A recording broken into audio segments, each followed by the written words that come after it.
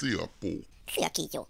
Képzeld, tegnap voltam tüdőröntgenen. És? Volt valami érdekes?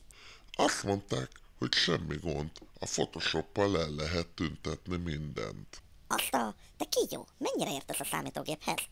Hát, én tudod, sportolok, meg csajozok. Tényleg? És tudsz valami jó csajozó szöveget? Persze, oda mész a lányhoz, és megkérdezed, cukor ment a szemedbe? Erre ő azt válaszolja, hogy nem.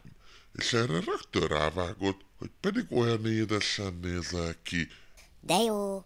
Nálad mi a helyzet?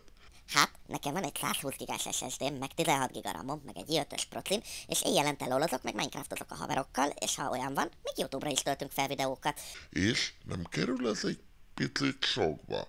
Hát...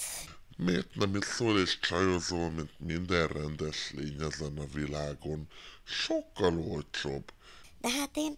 Neked eddig mi volt a legkomolyabb kapcsolatod életedben? 16 megás ADS-en.